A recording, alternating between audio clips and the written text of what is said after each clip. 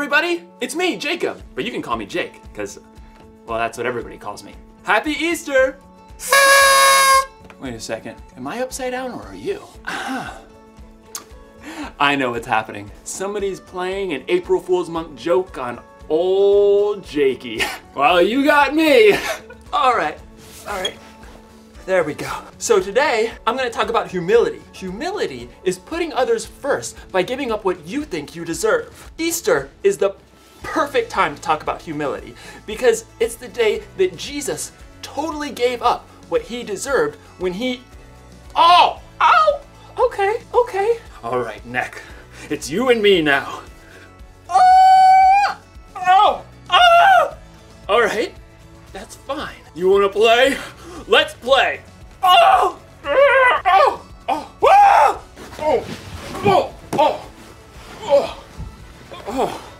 Necks are not supposed to bend that way. But I'm back to normal now. At least my neck is. But the picture's still just a little. I mean, if it could just. We're not doing that again. You know something? So, what if I'm upside down? I'm not gonna let this keep me from celebrating the most amazing event in history. And no, I'm not talking about the time I learned how to juggle. I'm talking about the time when God did something so brain boggling, it turned the whole world upside down. At least it turned my whole world upside down. My brain is still boggling. I'm boggling all over. You'll hear all about it in today's story. But first, I've got to figure out how to get my whole world from upside down to right side up. Hey, okay. Some brain ideas. What if you turned your screen upside down? That should that shouldn't be too hard, right? Or maybe there's a better way. Stay tuned.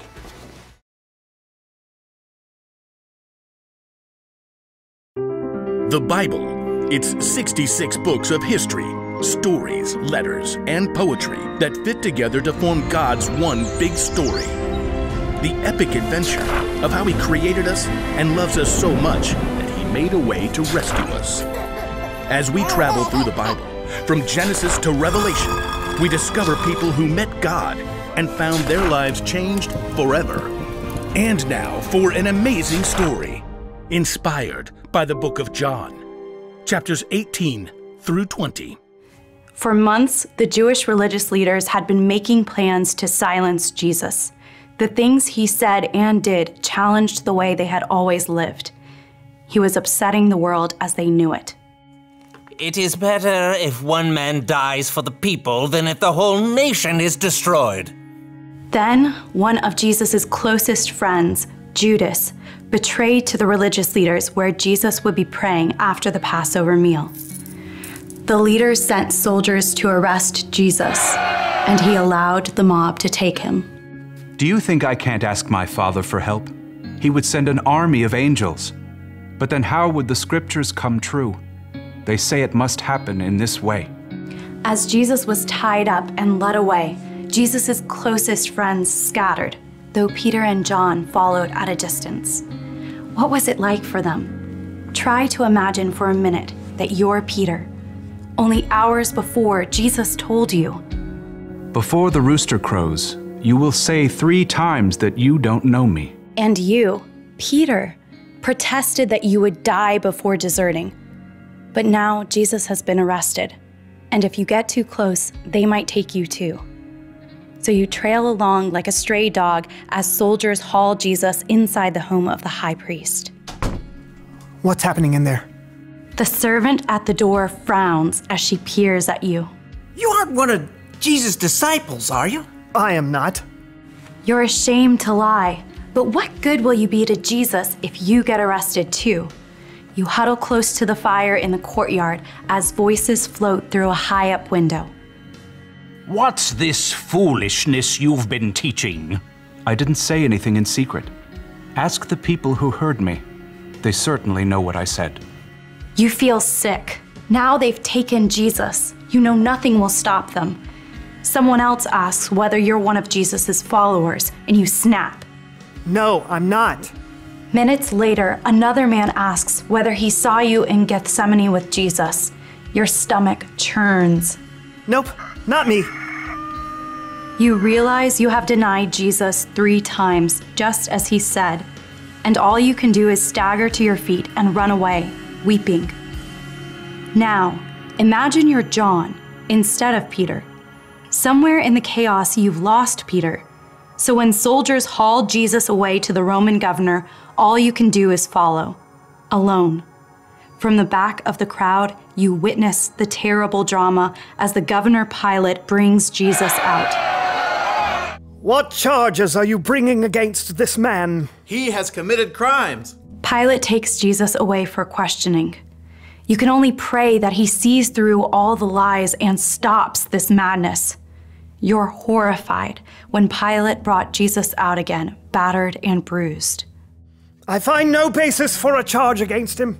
No, crucify him! Crucify him! Crucify him! Pilate hands Jesus over to the soldiers who force him to carry the heavy beams of his own rough cross. You know where they are going. Golgotha. It's a hill outside the city. As in a bad dream, you force yourself to follow. Along the dusty road, you find Jesus' mother, Mary, her sister, and Mary Magdalene. None of you can speak. You arrive at Golgotha in time to see soldiers nail Jesus to the wooden bars with heavy spikes and raise the cross up high. You strain your eyes to read the sign placed above Jesus' head. King of the Jews. You nearly choke on dust and grit. You've seen Jesus do amazing, powerful things, and yet he's allowed himself to be taken and battered. You glance over and see Mary sobbing, so you place your hand on her shoulder. When you look back up, you see Jesus watching his mother through the pain in his eyes. Dear woman, here is your son. Jesus looks directly at you, eyes filled with love. Here is your mother. Yes, Lord. You are overwhelmed to know that Jesus trusts you to take care of his own mother. But the terrible truth sinks in. Jesus knows that he will die. He's planning on it, just as he's been saying for weeks. A short time later, you see him lift his gaze to heaven. It is finished. Then he bows his head, and you can see the life leave his body. All the air seems to leave your own lungs, too. You thought Jesus was God's chosen one. How can he be dead? Now, as we move ahead, imagine you're Mary Magdalene, one of Jesus' close followers. Unlike so many others, you've dared to stay there, at the cross. And once Jesus is dead, you dare to follow the men who take his body for burial Joseph of Arimathea and Nicodemus. A garden tomb. The evening has faded, and it's now the Sabbath.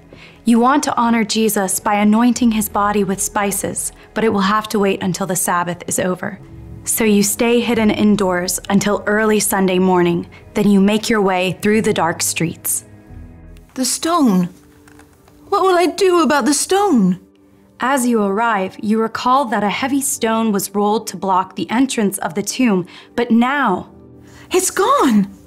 you gasp as you peer inside the tomb. Gray light reveals. It's empty. Heart pounding, you race back through the streets to the home where the disciples are staying. They have taken the Lord out of the tomb. We don't know where they have put him. You can see the shock in Peter's face. John gapes, and then they both begin to run to see for themselves. At a loss, you follow slowly, weighed down with exhaustion and confusion. When you reach the garden, you see Peter and John ahead, trying to make sense of it. You hang back as they leave again. What more is there to say? As the first rays of dawn light up the garden, you reach the tomb. Tears spill down your face as you bend to look inside once more. Two figures in radiant white sit where Jesus' body lay.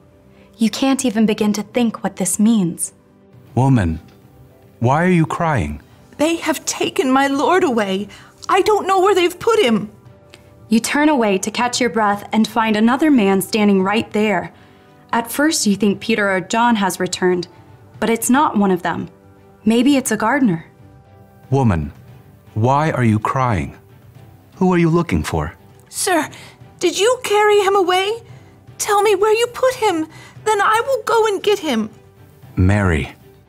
The moment he speaks your name, you see, you understand. It's Jesus. Teacher! You fling yourself at his feet because there isn't anything else you can do. Gently, he touches your shoulder. Do not hold on to me. I have not yet ascended to the Father. Instead, go to those who believe in me.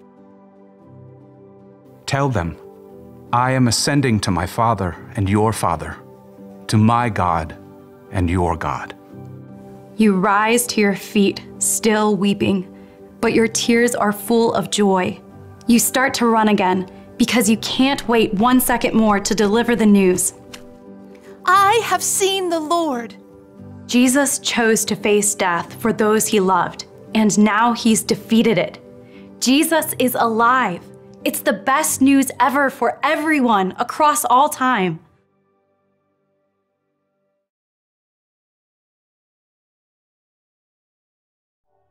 I don't know about you, but every time I hear the Easter story, my brain literally explodes. Well, not like literally, literally. I mean like figuratively, literally. Seriously, think about it.